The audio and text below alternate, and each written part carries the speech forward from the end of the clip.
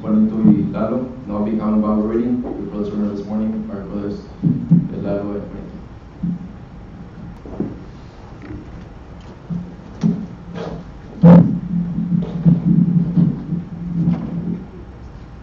Antes del sermón, abramos nuestras Biblias a Mateo capítulo 25, versículo 31 en, en adelante. Aquí habla del Hijo del Hombre, juzgará a las naciones. Versículo 31 dice, cuando el Hijo del Hombre venga en su gloria y todos los santos ángeles con él, entonces se sentará, se sentará en su trono de gloria y serán reunidas delante de él todas las naciones y apartará los unos de los otros como parte del pastor las ovejas de los cabritos. Y pondrá las ovejas a su derecha y los cabritos a su izquierda. Entonces el rey dirá a los de su derecha, venid, benditos de mi Padre, heredar el reino preparado para vosotros desde la fundación del mundo. Porque tuve hambre y me diste de comer, tuve sed y me diste de beber, fui forastero y me recogiste, estuve desnudo y me cubriste, enfermo y me visitaste, en la cárcel y viniste a mí. Entonces los justos le responderán diciendo, Señor, ¿cuándo te vimos hambriento y te sustentamos, o sediento y te dimos de beber? ¿Y cuándo te vimos forastero y te recogimos, o desnudo y te cubrimos? ¿O cuándo te vimos enfermo o en la cárcel y vinimos a ti? Y respondiendo el rey les dirá, de cierto os digo que en cuanto lo hiciste a uno de estos, mis hermanos más pequeños, a mí me lo hiciste. Entonces dirá también a los de la izquierda, apartados de mí, malditos al fuego eterno preparado para el diablo y sus ángeles, porque tuve hambre y no me diste de comer, tuve sed y no me diste de beber, fui forastero y no me recogiste, estuve desnudo y no me cubriste, enfermo y en la cárcel y no me vi- visitaste. Entonces también ellos le responderán diciendo, Señor, ¿cuándo te vimos hambriento, sediento, forastero, desnudo, enfermo o en la cárcel y no te servimos? Entonces le responderá diciendo, de cierto os digo que en cuanto no lo hiciste a uno de estos más pequeños, tampoco a mí me lo hiciste, e irán estos al castigo eterno y los justos a la vida eterna. Amén.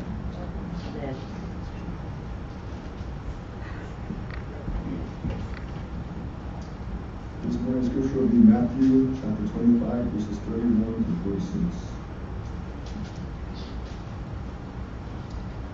When the Son of Man comes in his glory and all the holy angels with him, then he will sit on the throne of his glory. All the nations will be gathered before him, he will separate them one from another, as a shepherd divides the sheep from the goats. And he will set the sheep on his right hand, but the goats on the left. Then the king will say to those on his right hand, Come, you are blessed of my Father, inherit the kingdom prepared for you from the foundation of the world. For I was hungry, and you gave me food. For I was thirsty, and you gave me drink. I was a stranger, and you took me in. I was naked, and you clothed me. I was sick, and visited me. I was in prison, and you came to me.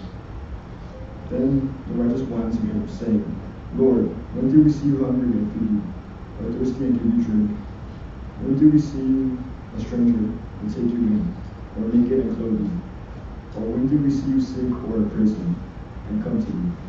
And the king will answer them and say to them, Surely I say to you, inasmuch as you did it to one at least of these, my brethren, you did it to me. Then he will say to those on the left hand, Depart from me, you are cursed into the everlasting fire, prepared for the devil and his angels. For I was hungry, and you gave me no food. I was thirsty, and you gave me no drink. I was a stranger, and you did not take me in. Naked, and did not clothe me. Sick in prison, and did not visit me. Then they will also answer him, saying, Lord, when do you see me hungry or thirsty, or a stranger, or naked, or sick, or in prison, and did not minister to you? Then he will answer them, saying, Surely I say to you, inasmuch as you did not do it to one of least of these, you did not do it to me. And these will go away into everlasting punishment, but in the righteous into eternal life. Amen. Now will be the time for a bit of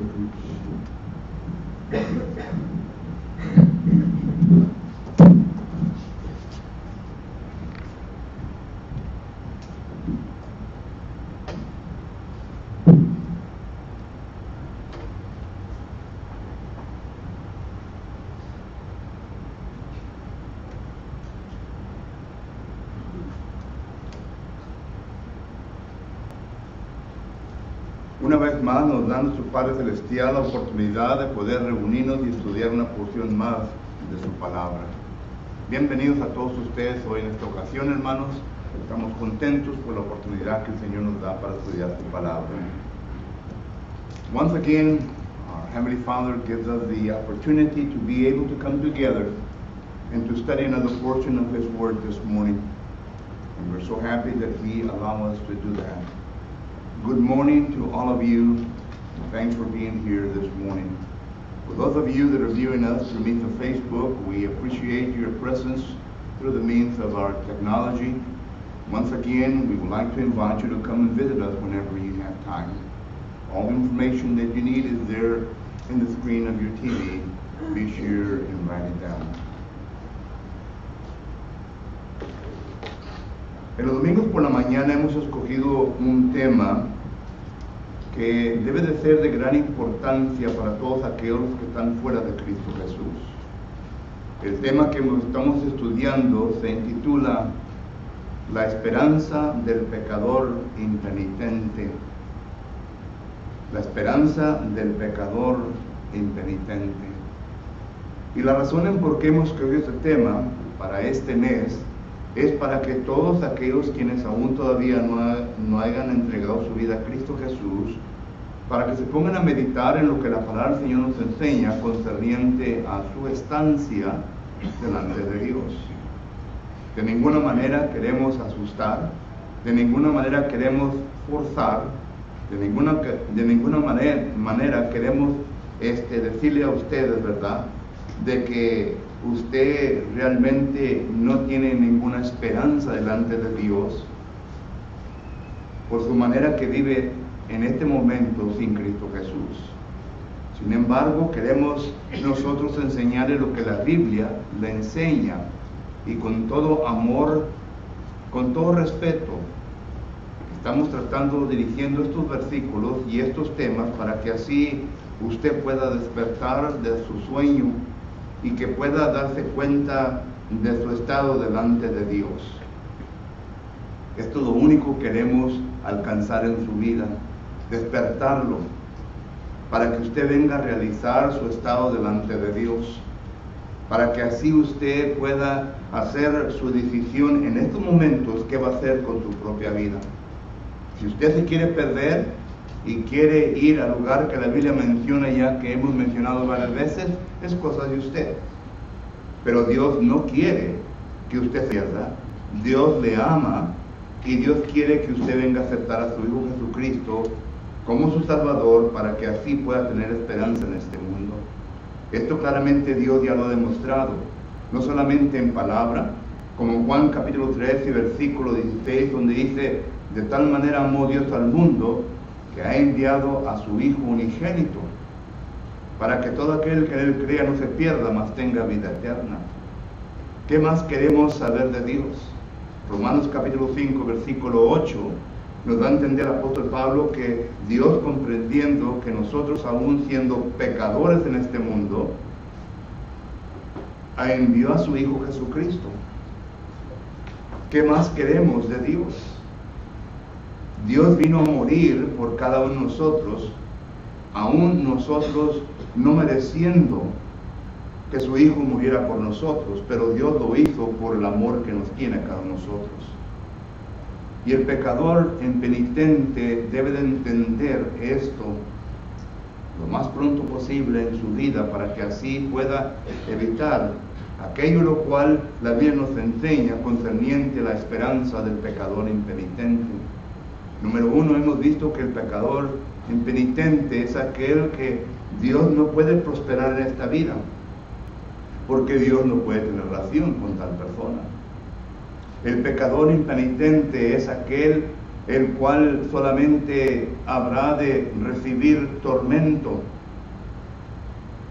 porque Dios no está con él. Para el cristiano tenemos la seguridad que nos enseña la palabra del Señor que nos dice, si Dios con nosotros, ¿quién contra nosotros? Tenemos la esperanza de que si Dios está con nosotros, Dios habrá de pelear nuestras batallas. Nuestra obligación es simplemente de obedecerle y de someternos a su voluntad. Es todo. Y Dios se, se encargará de los demás. Solo que entonces el pecador impenitente no solamente es una persona que no habrá prosperar en este mundo, una persona que recibirá una vida de tormento, pero una persona también que en el momento de la resurrección habrá de recibir condenación. Es interesante que cuando una persona muere, luego, luego lo ponen en el cielo. Yo me acuerdo cuando la famosa cantante Celina murió.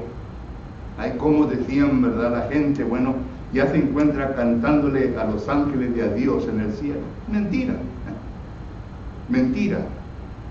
La Biblia no nos enseña eso. Y aún también cuando seres humanos de nosotros mueren aparte de Cristo Jesús, también lo ponen en un pedestal, dando a entender que se encuentra reunido con Dios y por lo tanto están gozando una presencia con Dios. Si acaso uno está fuera de Cristo Jesús, esto no es la realidad. Es lo que la palabra del Señor nos enseña a nosotros. Por lo que entonces, en esta mañana, quiero estudiar con ustedes concerniente al tópico. El tema es la esperanza del pecador impenitente. Nuestro tópico en esta mañana será resucitará a condenación. Y si usted recuerda bien, la última ocasión que tuvimos juntos, estamos estudiando el libro de Lucas, capítulo 16. Y miramos nosotros que aquí es un diálogo, una charla, una plática que nuestro Señor Jesucristo está teniendo con un grupo de gente en aquel entonces. Y le está tratando de explicar un tema poco difícil a ellos. Un tema que ellos no entendían en ese momento, pero que Jesucristo siendo Dios, sí lo entendía perfectamente y usó palabras simples, sencillas, ilustraciones que ellos este, podían identificar para que así Él pudiese presentar el lugar en donde las almas de los muertos van.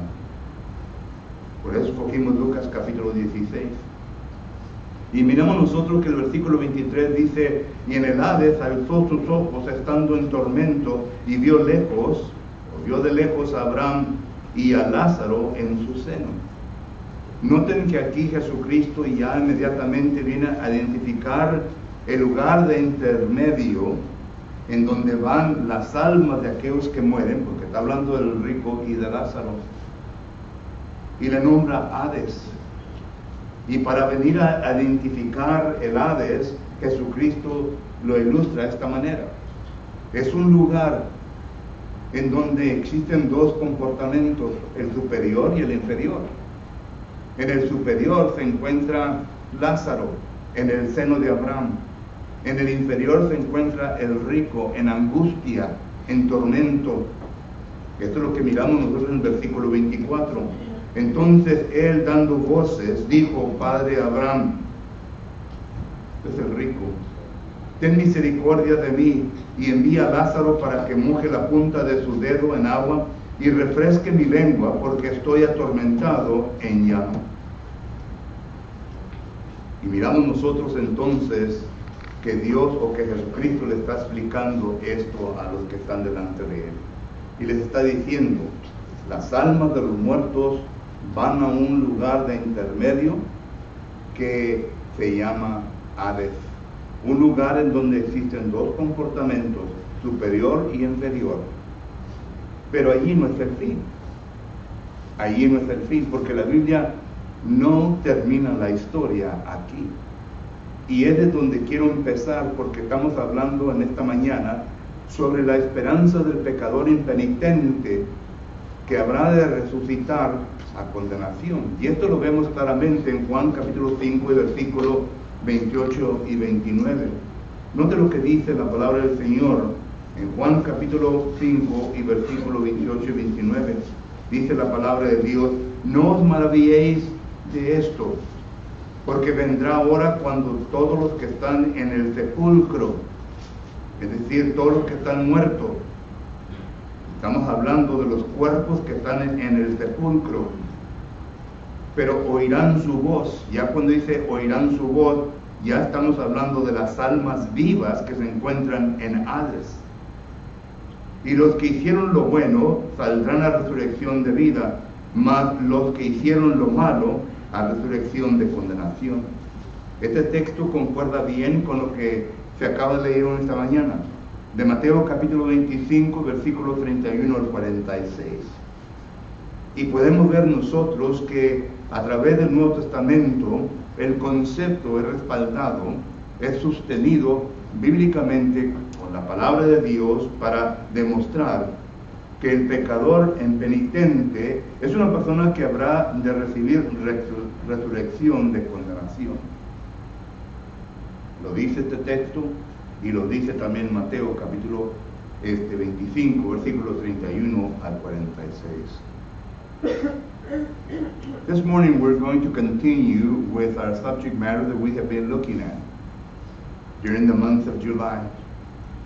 And we have been looking at the theme that the unrepentant sinner, the hope of the unrepentant sinner.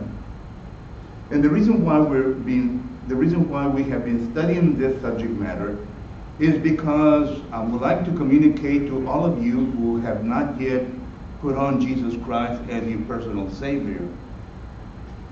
You know that Jesus Christ is your Savior. You know that Jesus Christ is the one that can forgive your sins. You know all of this because you have been coming and you have been hearing the Word of God.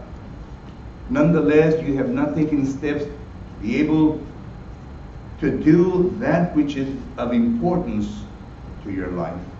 And that is to put on Christ in baptism. Galatians chapter 3 and verse 26 and 27 says. And this is the purpose, this is the reason why we're looking at this subject matter of the unrepentant sinner. And we have been looking at what the Bible says. We don't want to force you. We do not want to condemn you. But we do want to make you aware of the fact of the importance that it is in your life if you have reached the age of making your own choice of how important it is to put on Christ Jesus. And the only way that we can do that is through Scripture, to make you aware of what the Bible teaches concerning this very important matter in your life. And number one, we have seen that the unrepentant sinner is someone that cannot prosper in life. Because the prosperity that we talked about is the one that God gives. Ephesians chapter 1 and verse 3 makes reference to the fact that all spiritual blessings are found in Jesus Christ, not outside of Jesus Christ. Therefore, if you're outside of Jesus Christ, there is no spiritual blessings for you. There is no prosperity for you. Second, we have seen that the unrepentant sinner is a person, or the hope of the unrepentant sinner is a person that will eventually end up in torment. And we have seen this. We saw this last week, and this is where we left off. And the reason why we chose Luke chapter 16 to be able to study this subject matter is because Luke chapter 16 is a very good illustration, a very good teaching from Jesus Christ to those unrepentant sinners and what will take place the moment you, that you expire. Number one, it makes reference to the fact in verse 23 that you will go to a place named Hades. And notice who's speaking here is Jesus Christ. Jesus Christ is dealing with a very difficult subject matter. He is trying to communicate to the minds of those that are in front of him, those that are hearing him, a very difficult subject and he is using simple words. And he is trying to illustrate what he knows of Hades with the surrounding things that they, the people, were familiar with. So read the whole context. But verse 23 makes us aware of the fact that he calls this place the intermediate place where souls will be going to whenever they, whenever we die. It's called Hades, and it is made of two compartments superior compartment and the inferior compartment. In the superior compartment, we see Lazarus in the bosom of Abraham. In the inferior compartment, we see the rich man And the rich man, according to verse 24, he's in torment. And that's where we left off. He's in torment. Do not expect nothing different. There will be no second chances. For none who die without Christ. The unrepentant sinner that dies without Christ, his hope is torment. But this morning I would like to study with you the following question or the following thing that will happen after that. It is what would happen to the, what will be the hope of the unrepentant sinner if he dies in that condition? Whenever the time of the resurrection comes forth, whenever the time comes when Jesus Christ comes to this earth, and everybody that is in the tomb will resurrect, what will be the hope of the unrepentant sinner? And whenever you read John chapter 5 and verse 28 and 29, you will notice immediately that Jesus Christ is making reference to the person that lived his life with Jesus Christ and the person that lived a life unrepented of his sins or her sins. And that's what we are going to study this morning. What is the hope of the unrepentant sinner? And the hope is condemnation. Don't expect nothing different. And sometimes you, we're young and we think that we have the whole life before us, that we will reach our 70s, our 80s for the most part. And meanwhile, we're going to live it up. We're going to have a party, and we're going to do our thing. And when we start getting old, then that's when I will start dedicating my life in totality to our Lord Jesus Christ. But remember what Ecclesiastic chapter 12 and verse 1 says. It says that we are to remember our God in our youth. Because God wants us to make a choice at that point and to be able to close on with Jesus Christ. Así que entonces, hermanos, ¿qué es la esperanza del pecador impenitente?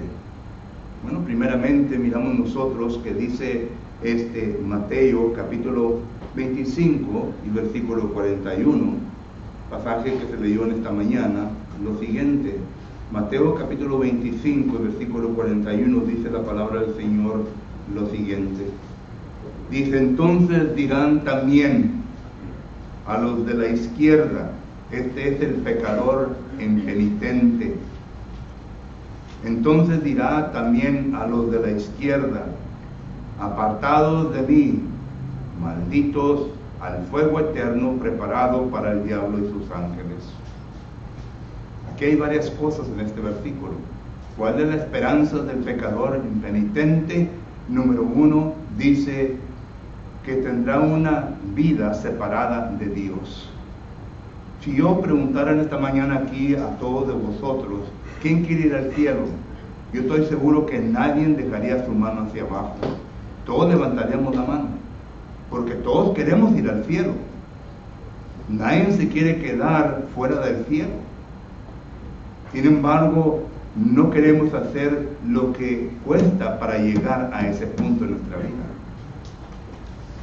Y cuando una persona no está este, dispuesta en hacer lo que Dios dice para llegar al cielo, entonces será una persona que estará apartado de Él. Una vida totalmente separada de Dios. Y si es una vida totalmente separada, existen dos fuerzas en este mundo, la de Dios y la de Satanás.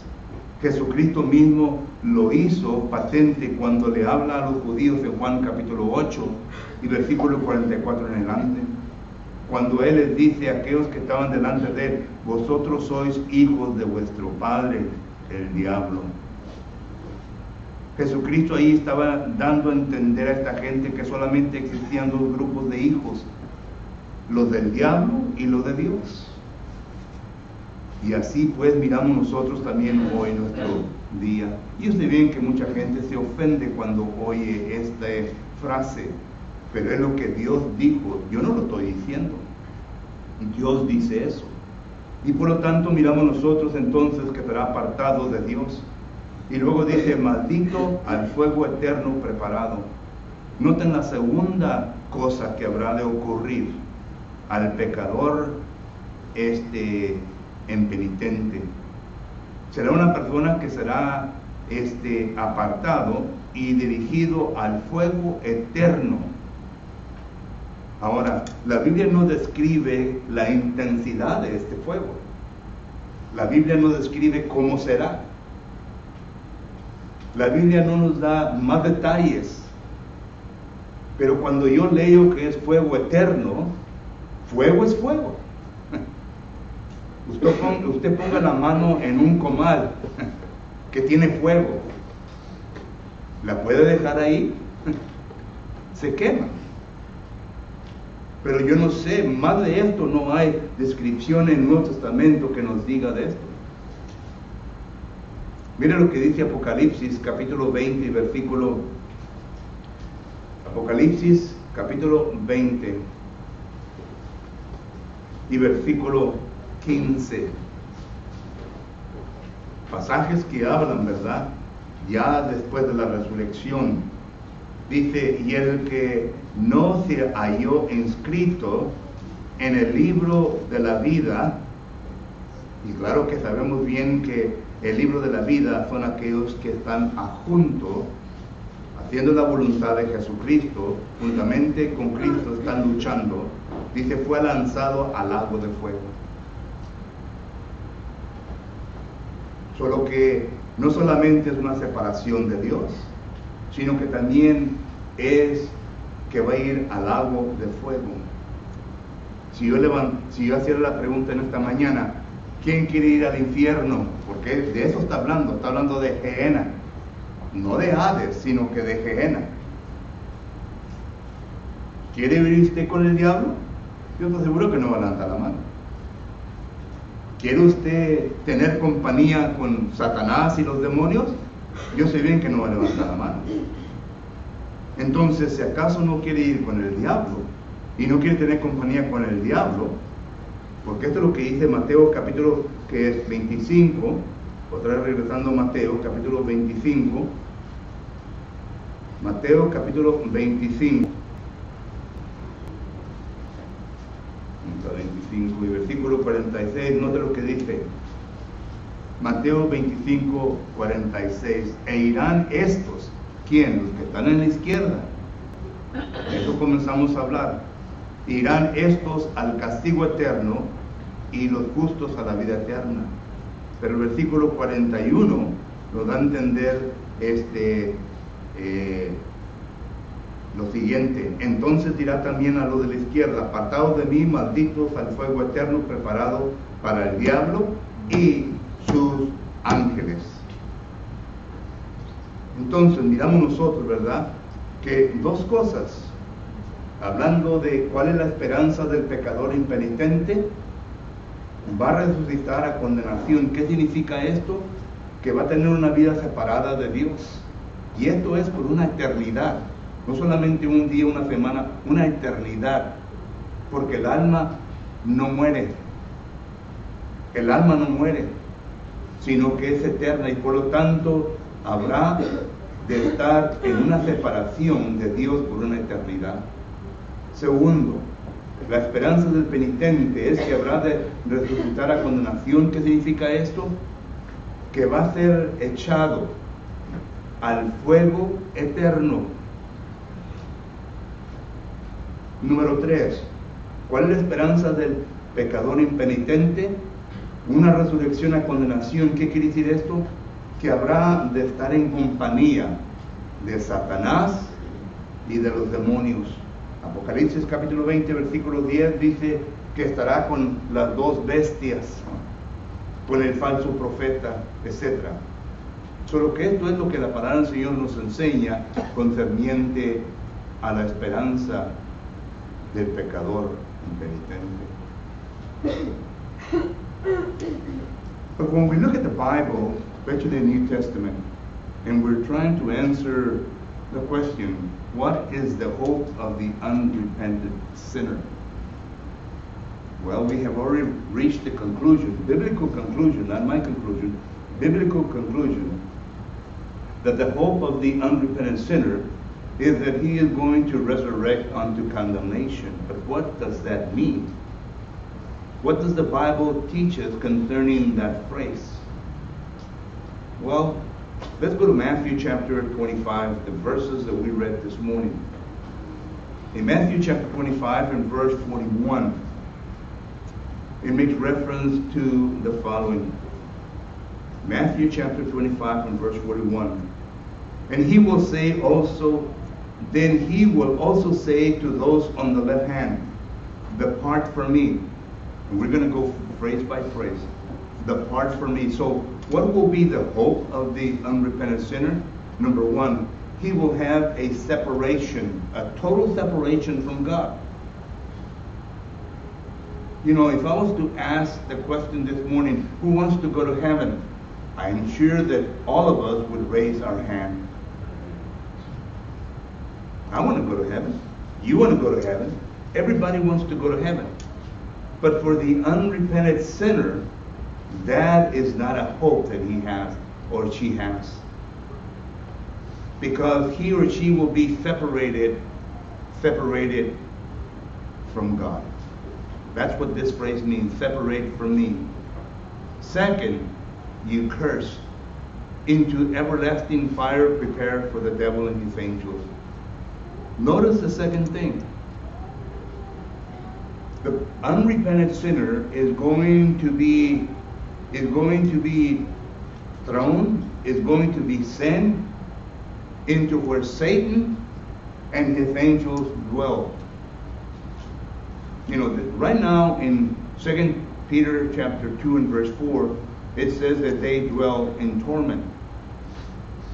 But once they are, once Jesus Christ comes to this earth and the, and the, uh, the resurrection takes place and the judgment day takes place, Revelation chapter 20, we notice that these angels and the devil, according to Revelation chapter 20, verse 10, will be put in eternal fire. That is, in hell. That's the second word that we see there. And we notice that it will take place. So that's the second thing that we notice there. But when we go to other places, for example, like Revelation chapter 20, in Revelation chapter 20, in verse 15, notice what it says. And anyone not found written in the book of life will be cast into the lake of fire. That yeah, I think there it's more clear. So the question is, would you like to be would you like for that to be your residence for the re- for the rest of your life, for eternity? No, nobody wants that. But for the unrepentant sinner, that will be the place where he and she will end up. But also, there's another thing that we need to notice. Time is rapidly going. Otra cosa también, hermanos, que debemos de entender, porque el tiempo se me escapa. Dice Apocalipsis capítulo 14, versículo, perdón, Apocalipsis capítulo 20, versículo 14 dice de la siguiente manera. Y la muerte y el Hades fueron lanzados al fuego, al agua del fuego. Esta es la muerte segunda. La muerte segunda es la primera muerte, hablando de la perspectiva espiritual, la primera muerte es cuando uno muere en pecado. Cuando uno, en Mateo capítulo 6 y versículo 23 dice que la, la paga de la muerte, o la paga del pecado es muerte, es cuando uno viene a morir. Cuando uno peca contra Dios, viene a morir espiritualmente. Esto fue lo que pasó con Adán. En Génesis capítulo 3, cuando Adán pecó, él murió. Eva murió. Entraron en transgresión, dice 1 Timoteo capítulo 2, versículo 14 en adelante. Y así sucede también con nosotros, que cuando yo peco, cuando usted peca, entramos en transgresión en contra la ley, 1 Juan 3, 4, y venimos a pecar contra Dios. Y cuando pecamos contra Dios, entonces esa es la primera muerte, espiritualmente hablando. Una separación de Dios. Pero aquí en el libro de Apocalipsis habla de la segunda muerte. ¿Qué es la segunda muerte? La segunda muerte es cuando ya, Mateo 25, 41, somos separados de Dios por una eternidad. Esa es la segunda muerte. Pero ya para esa muerte no hay manera en cómo venir a vida. Como dice Juan capítulo 5, versículo 24, que pasemos de muerte a vida. No hay manera en cómo pasar de muerte a vida, porque ya no hay segundas oportunidades. Ya no podemos hacer nada, porque Dios ya no nos da oportunidad. Entonces,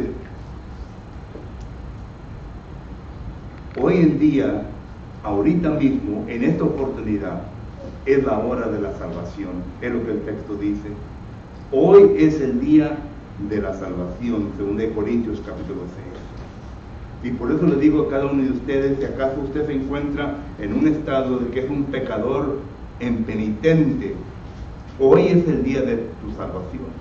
Hoy es el día cuando tú puedes ser salvo. No dejes que se pase esta oportunidad si tu conciencia se está redarguyendo, si tu corazón te está palpitando y te está diciendo, hoy algo, escucha tu conciencia, escucha tu corazón, para que puedas corregir tu situación delante de Dios. Porque si no lo haces, entonces la oportunidad se va a pasar y quién sabe cuándo Dios permita otra oportunidad. Porque no depende de nosotros, depende de Dios. But another thing that we notice here is in Revelation chapter 20 and verse 14. Notice what the Bible says in Revelation chapter 20 and verse 14. It says, Then death and Hades were cast into the lake of fire. This is the second death. And when we talk about the second death, you need to understand that it is making reference to a spiritual death, not a physical death. And the spiritual death is when we sin against God. In Romans chapter 6 and verse 23, it says that whenever we sin against God, then we are dead before God. We are in a relationship that we are separated from God. That's an oxymoron, in a relationship with it. When we're separated from God. We don't have no relationship with God whenever we sin. According to 1 John chapter 3 and verse 4, we notice that the transgression of God's will puts us in a separation from God. And once we're separated from God, like Adam and Eve, and all those that have sinned, are people that have been separated from God, and these people are not going to enter heaven. That's what the Word of God teaches. Because they are dead to God. While we live on this earth, we need to be reconciled with God, Colossians chapter 1, verse 21, in order to be able to have the hope of eternal life. But if we don't do that, and we stay in this state of the unrepentant sinner, then whenever we die and we go to Hades, and whenever Jesus Christ comes and there is the resurrection of those that did good unto life and those that did evil doers unto condemnation, and that's what we're talking about, the unrepentant sinner. These unrepentant sinners will face a second death. This is what Revelation chapter 20, verse 14 is speaking of. But in this second death, there is no more hope for us. There is no more second chances. We're talking about God bringing us out, and I'm talking about us, our souls, out of Hades, and then judging us for our works, Revelation chapter 20, verse 13, and then sending those that have done evil in their life to the lake of fire. These souls don't have a second opportunity. There's no more opportunities for them. So the point is this your opportunity, if you are an unrepentant sinner, if you have not come to the point of repenting of your sins and being baptized for the forgiveness of your sins, then this is what the Bible teaches. Today, today is the day of your salvation. 2 Corinthians chapter 6 and verse 1 and following. Don't let this day go by. It is important for you because this is the day that you will come from death unto life. This is the this is the day that you will leave darkness into enter the marvelous life or light. This is the day, and the Bible speaks of that. Are you ready to do that this morning? ¿Estás listo, hermano o, amigo o amiga, para hacer esto en su vida esta mañana? La decisión es de usted, no es de nadie más. La responsabilidad nuestra es de enseñarle lo que le enseña, pero la decisión es de usted. Our responsibility is to teach you, and it ends there. But the decision is yours. Are you ready? Si están listos, ¿por qué no pasan al frente y manifiesten su deseo? Mientras nos ponemos de pie, entonamos un canto de iniciación.